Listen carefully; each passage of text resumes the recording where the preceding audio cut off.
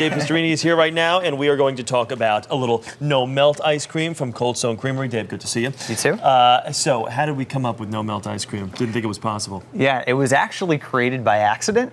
Um, we're always trying to come up with new flavors at Cold Stone Creamery. Yep. And so we have a taste master who invents new flavors.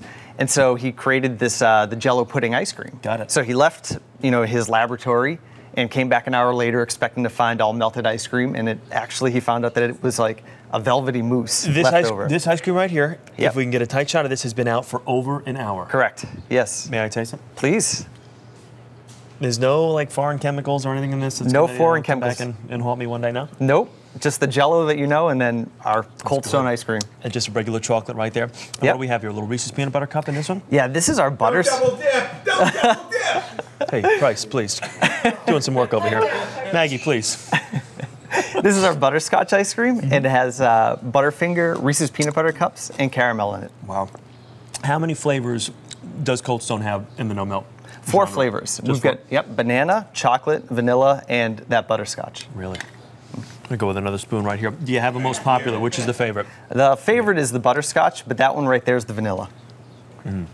Big sellers this summer, or do people like the the standard ice cream and rather than something trendy like this? Yeah, this has been a huge hit. Uh, we rolled it out into all of our stores this summer. Um, and so the promotion has been going on. Uh, check with your local store to see if they're still carrying it. Yeah. Dave, you're gonna want to try this one.